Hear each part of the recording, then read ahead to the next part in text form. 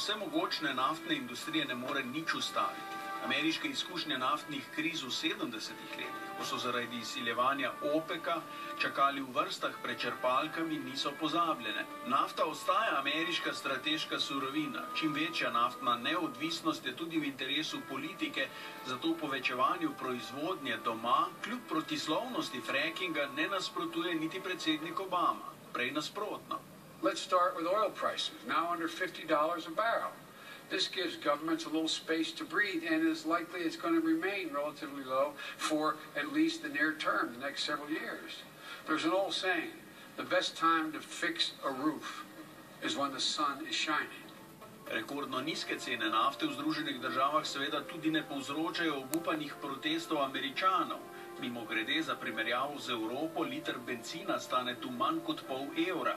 Povprečno ameriško gospodinstvo bo letos zaradi nižjih cen benzina prihranilo več kot 700 dolarjev.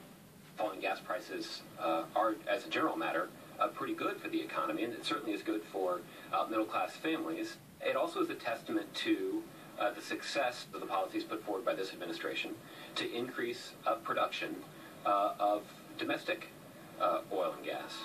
Številni ameriški analitiki menijo, da tako nizke cene nafte, kot so na svetovnem trgu zdaj, tudi za ameriške proizvajalce niti srednjeročno niso vzdržne. Nemalo jih meni, da poskuša Saudska Arabija na ta način uničiti ameriške proizvajalce nafte in dolgoročno ohraniti svoj tržni delež. Posledice cenovne vojne je v nekaterih ameriških naftnih državah, kot naprimer v Teksasu in Kaliforniji, že čutiti. Prve težave domače naftne industrije so tu, dolarjev od nafte preprosto ni več dovolj, lokalno gospodarstvo se že ohlaja. Tako imenovani fracking že dolgo poznajo tudi naši lendovski beli rodari. Ti se s črpanjem dragocenih surovin iz nedari zemlje ukvarjajo že skoraj 60 leti, mehansko obdelavo plasti pa so prvič opravili že davnega leta 1957.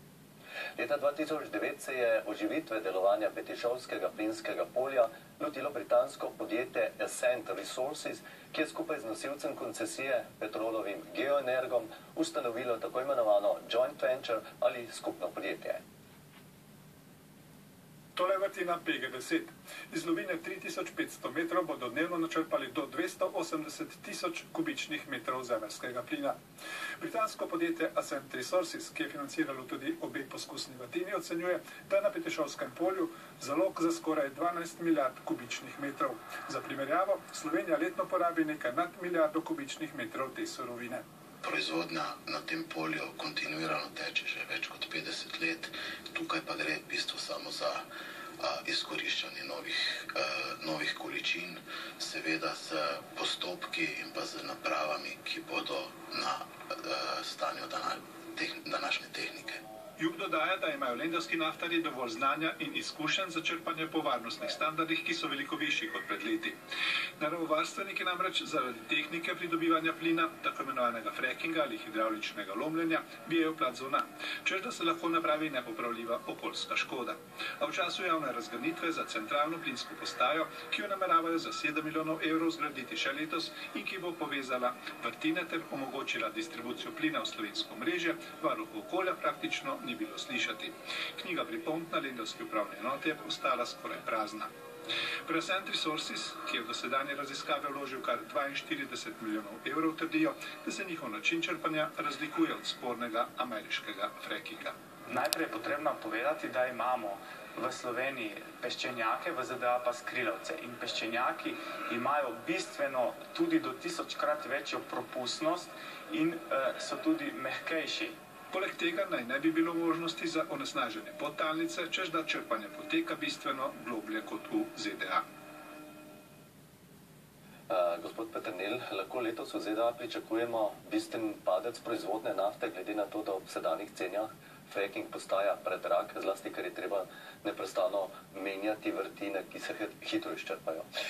Iz razpoložljivih podatkov je mogoče razbrati, da Združene države načrtujejo v letošnjem letu povečati proizvodno za, za nekaj manj kot milijon sočkov dnevno. To pomeni, da je proizvodnja za njih pri cenah okrogi, okrog 40 dolarjev za soček še vedno zanimiva in večje družbe, ki niso samo proizvajalke zaloge surove nafte, imajo tudi rafinerije in petrokemijo, bodo to preživele. In tudi iz podatkov, ki so javno objavljeni, nekateri ocenjujejo, da bo še enkrat šele okrog leta 2018 prišlo do točke preloma, ko bo vprašljivo, ali so, je proizvodna iz tehnološko dost zahtevnih vrtin še profitabilna. Seveda se pa zdaj postavlja v teh cenah, nizkih cenah nafte tudi vprašanje, ali je to udarec za uvajanje alternativnih virov energije in za prizadevanja po bolj varčnem, varčni izrabi energije. Tudi v tej smeri je možno razmišljati, vendar o obnovljivih virih in pa nafti in plinu je treba povedati to, da so proizvodni stroški obnovljivih virov precej višji, kot pa proizvodni stroški fosilnih goriv.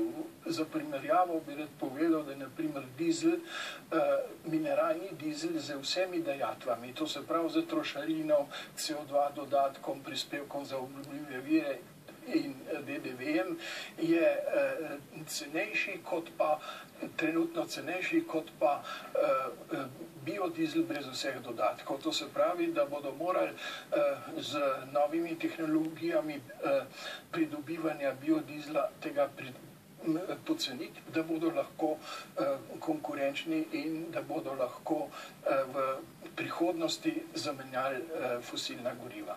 Ponoči so se po dolgem času pri nas ponovno zvišale cene naftnih derivatov. Če zdaj pogledava